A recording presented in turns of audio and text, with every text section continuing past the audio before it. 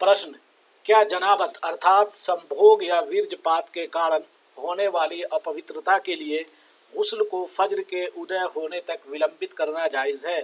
तथा क्या महिलाओं के लिए मासिक धर्म या प्रसवोत्तर रक्त स्राव के समाप्त होने पर गुस्ल को फज्र के उदय होने तक विलंबित करना जायज़ है? उत्तर, हर प्रकार की प्रशंसा और गुणगान केवल अल्लाह ताला के लिए योग्य है।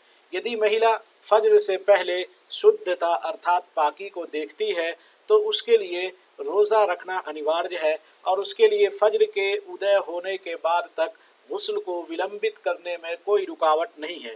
लेकिन उसके लिए उसे सूर्य के उगने तक विलंबित करने की अनुमति नहीं है। इसी तरह जनाबत वाले व्यक्ति के लिए गुस्ल को सूरज के उगने के बाद तक विलंबित करना जायज़ नहीं है।